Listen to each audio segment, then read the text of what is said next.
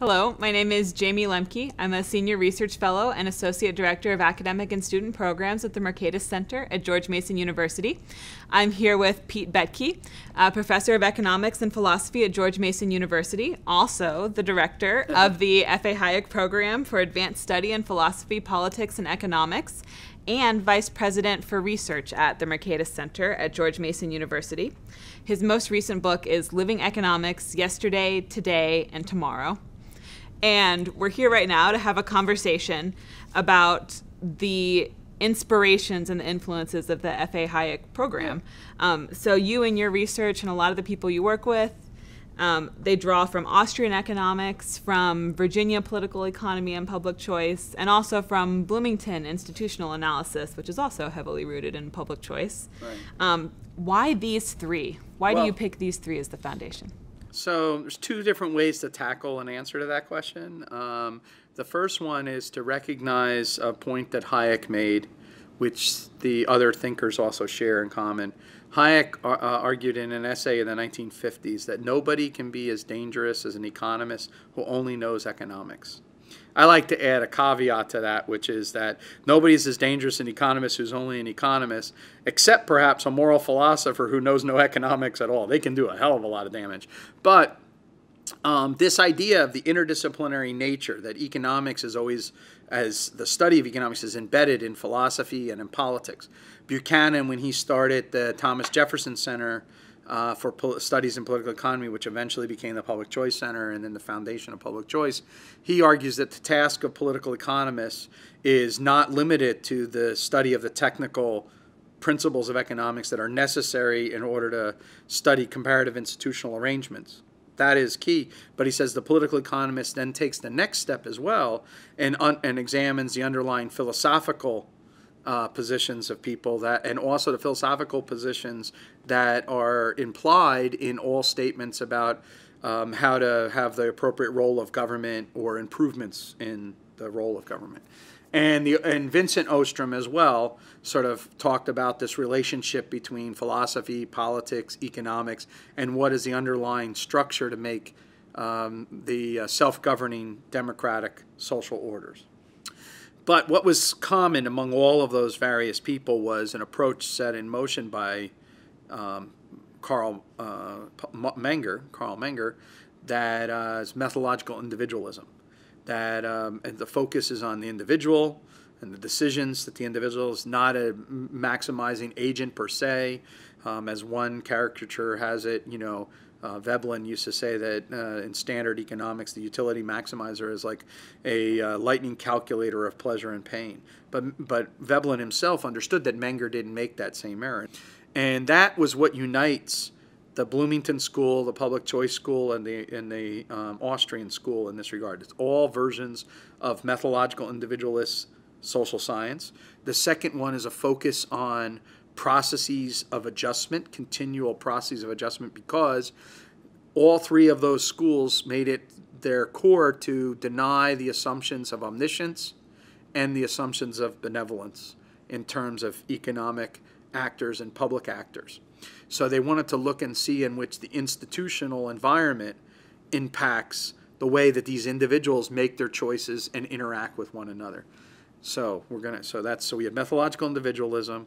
We have that methodological individualist not imbued with cognitive capacities that minimize differences in institutional frames, but instead that institutional frames are important for dictating the way that individuals. This is what Vernon Smith later on referred to as what he called ecological rationality. It's an idea he gets from the cognitive theorist uh, uh, Gerd Gigerenzer.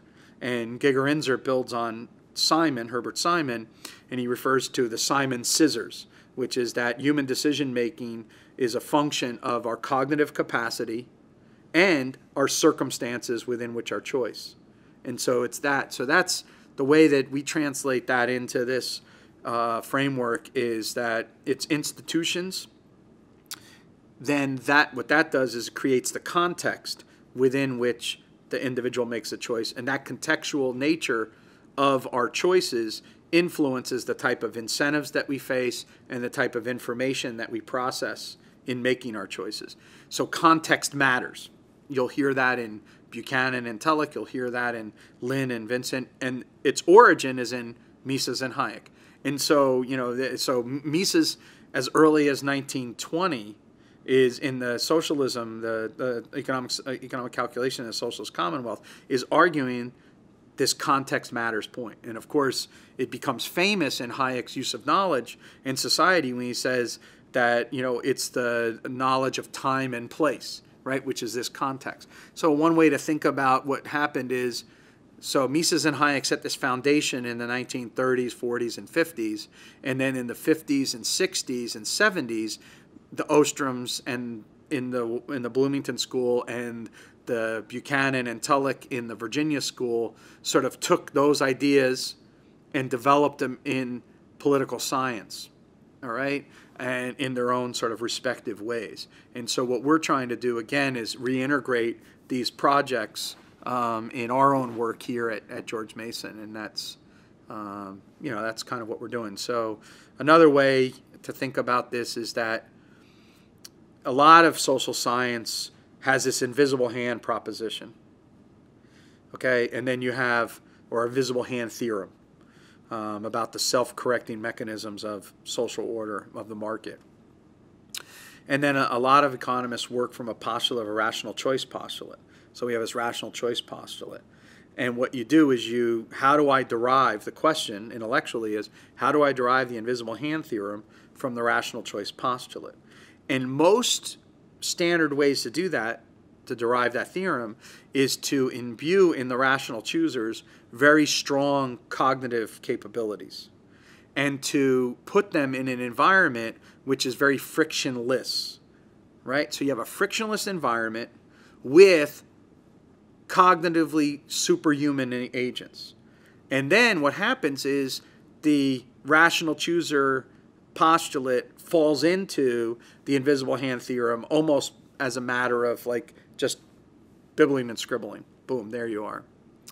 And then you can critique the world by saying that if I can show that agents are less than perfectly rational or the environment is less than perfectly frictionless, then I'm not going to get the invisible hand theorem, and therefore I need the government to step in and do things.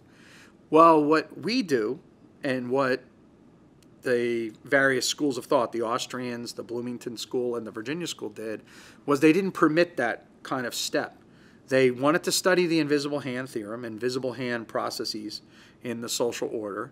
They wanted to start from a methodological individualist point of view or a rational choice modeler, but they didn't want to imbue cognitive capabilities of a superhuman. They wanted to deal with men, sometimes smart, sometimes stupid, sometimes good, oftentimes bad. What are the incentives that they face? And then what they say is they derive the invisible hand theorem from the rational choice postulate via institutional analysis. So the one thing that's common again among all three of them is a focus on the what what Buchanan would call later the rules level of analysis. Right? So the nature of the game is always a function of the rules that we're following. And so this is the informal and formal rules and their enforcement are going to dictate whether or not you're going to be able to derive the invisible hand theorem from the rational choice agent. So if there's a problem in that, it's it, you find it in the rules. So Buchanan summarized this in a very nice little way. He said, "Same players, different rules, produce different politics." Mm-hmm. Right. So the focus isn't on different players we assume something about the same in the players, what they call the assumption of behavioral symmetry.